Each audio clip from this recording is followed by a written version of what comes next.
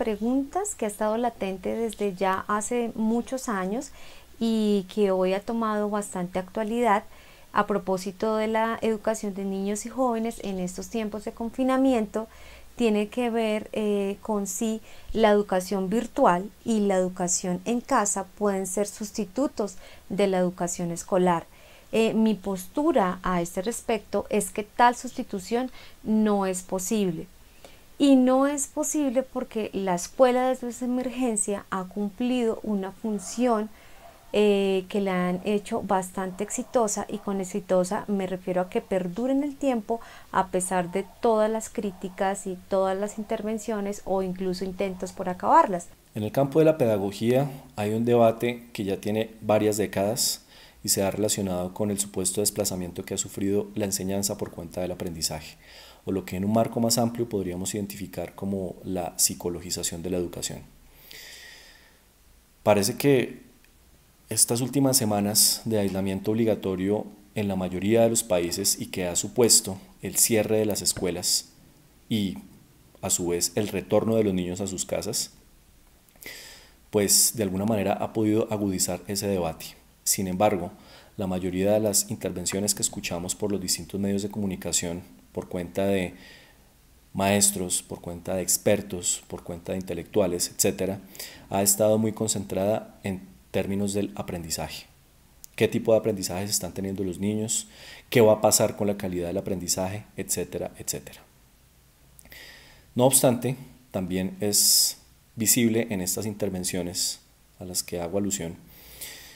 que el énfasis está muy puesto en la necesidad o en una supuesta necesidad de aprendizajes más contextualizados. Parece que se ha exacerbado este discurso agenciado también por las competencias desde hace un par de décadas relacionado con la importancia de aprender a hacer cosas y a hacer cosas que resuelvan problemas inmediatos. Se trata de que la escuela se ha encargado de el cuidado de niños y jóvenes en unos espacios diferentes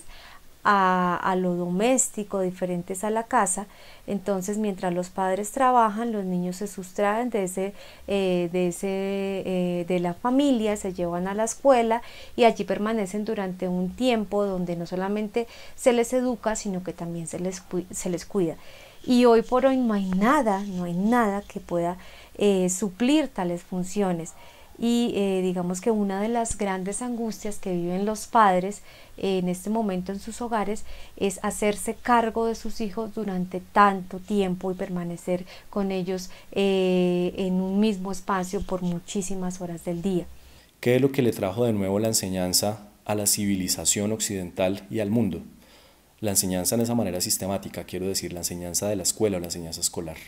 lo que le trajo de nuevo la enseñanza fue justamente la posibilidad de aproximar a los seres humanos a aquellas cosas que tienen más distantes de sí, a aquellas cosas que no les son familiares, a aquellas cosas que están lejanas y cuyo alcance solamente podría ser para la gran mayoría de la población vehiculado o agenciado a través de una enseñanza o de un conjunto de enseñanzas sistemáticamente organizadas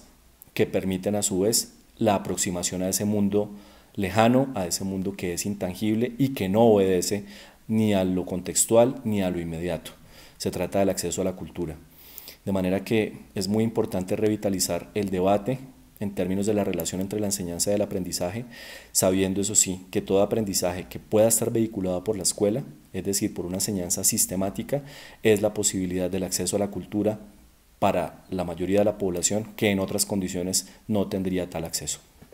Entonces no se trata solamente de que no hayan los medios o las tecnologías o las plataformas o los saberes para llevar eh, a, cabo una educación digital exitosa, sino que no hay quien cumpla esas funciones que cumple la escuela y que estamos acostumbradas a ellas, que eh, solamente nos damos, eh, nos damos cuenta que están ahí cuando vemos la crisis que estamos viviendo.